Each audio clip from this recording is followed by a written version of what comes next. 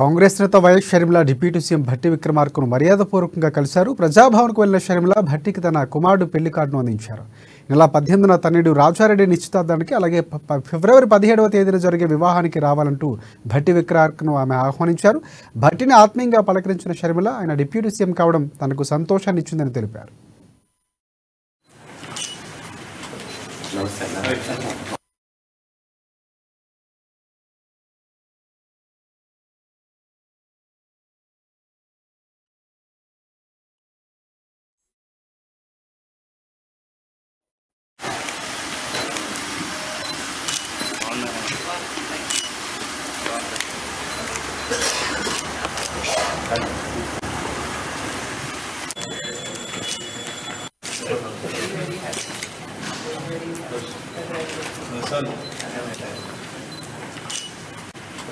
Nelson, I have.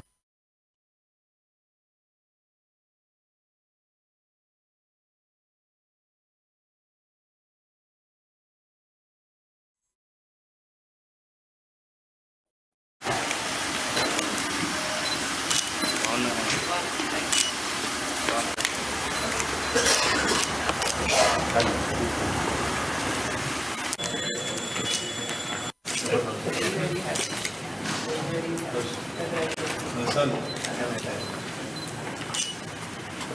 no se trata.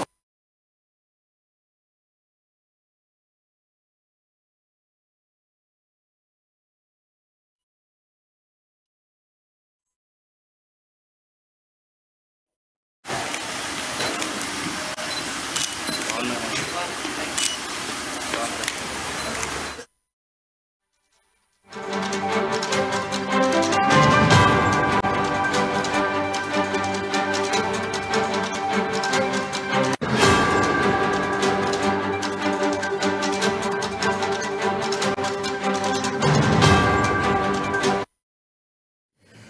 Congress నేత YS Sharmila deputy CM Bhatti విక్రమార్కను మర్యాదపూర్వకంగా కలిశారు. ప్రజాభవన్కు వెళ్ళిన షర్మిల భట్టికి తన కుమారుడు పెళ్ళి కార్డును అందించారు. ఈ నెల పద్దెనిమిదిన తనేడు రాజారెడ్డి నిశ్చితార్థానికి ఫిబ్రవరి పదిహేనున తేదీ జరిగే వివాహానికి రావాలని భట్టి విక్రమార్కను ఆమె ఆహ్వానించారు. భట్టిని ఆత్మీయంగా పలకరించిన షర్మిల ఆయన డిప్యూటీ సీఎం కావడం తనకు సంతోషాన్ని ఇచ్చిందని తెలిపారు.